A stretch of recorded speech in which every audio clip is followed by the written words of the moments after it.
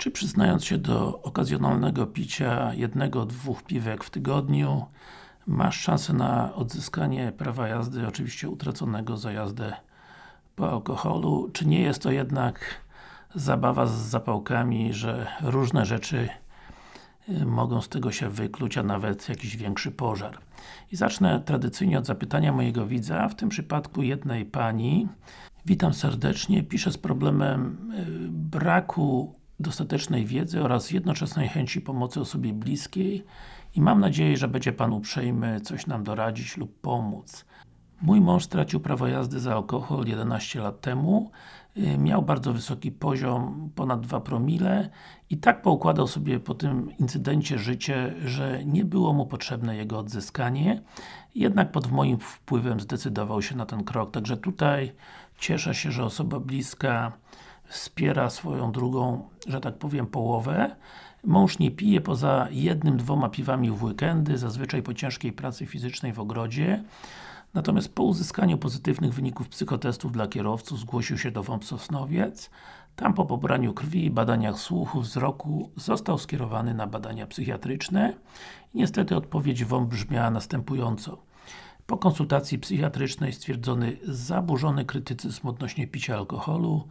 No, chodziło tu o to picie piwa, bo mąż uczciwie powiedział, że wypija jedno lub dwa tygodniowo, no poniekąd, pomimo chorób somatycznych, które posiada, na które cierpi, czyli naciśnienie tętnicze zdiagnozowane i leczone już od 15 roku życia, no i pomimo za, zależywania leków.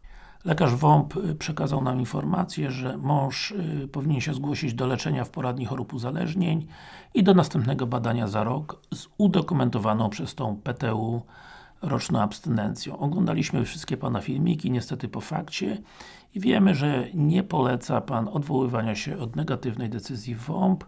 Nie jesteśmy niestety ludźmi majętnymi, każdy grosz się liczy dla nas w takiej sytuacji. Nie wiemy jak postąpić. Bardzo proszę o poradę w swoim imieniu oraz męża z wyrazami szacunku. I skomentuję tutaj troszeczkę całościowo tą sytuację. E, jeżeli masz podobną, to być może wyciągniesz jakieś wnioski.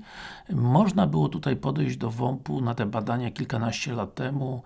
Pewnie prawko zostało już by dawno odzyskane, cała historia zapomniana. Natomiast pozostaje tutaj y, drugi problem, czyli kwestia szczerości w tej instytucji i jak widać przyznawanie się do jakiegokolwiek picia nawet takiego okazjonalnego, no tego pacjenta, tego kierowcę postawiło na straconej sytuacji, natomiast na pewno szanse po takich zwierzeniach na odzyskanie prawa jazdy maleją. Yy, lekarz sobie może interpretować to przyznanie się przez Ciebie do picia, w którą sobie stronę zechce, czyli w tym przypadku yy, psychiatra uznała, że jest to jakaś postawa naiwna, że mimo wszystko ten pacjent ma zaburzony krytycyzm co do picia alkoholu i nawet jedno czy dwa piwa grozi mu tym, że nie daj Boże wsiądzie i zacznie jeździć, prawda?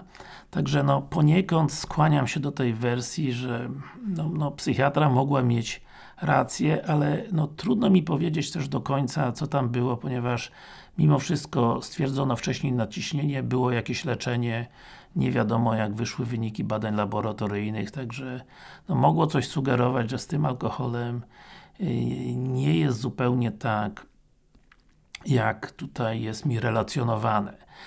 Co robić? No w zasadzie nie pozostaje nic innego, jak tylko dostosować się do zaleceń tego WOMP-u, jakoś tą abstynencję udokumentować. Także na tym kończę. Jeżeli Ty miałeś sytuację, że przyznałeś się lekarzowi WOMP do okazjonalnego picia alkoholu, Y, powiedz tutaj, napisz w komentarzu, jak to się miało odnośnie Twojej sytuacji, czy ułatwiło Ci odzyskanie prawa jazdy, czy utrudniło, czy nie miało żadnego wpływu, tylko po prostu lekarz to przyjął do wiadomości i nie zlecił Ci jakichś dalszych tam y, postępowań y, w poradni terapii uzależnień, a tym samym odsunął o rok odzyskanie Twojego prawka. Jestem bardzo ciekaw, mówię, są zuchy, które twierdzą, że przejście badań w WOMP to jest bułeczka z masłem, idziesz sobie tam z lekarzem, pogadasz, w kolejce się pośmiejesz, wszystko jest łatwo, miło i przyjemnie. No wiadomo, prawda jest zwykle gdzieś po środku, także mówił Darek Kraśnicki, lekarz specjalista medycyny z transportu z Wrocławia.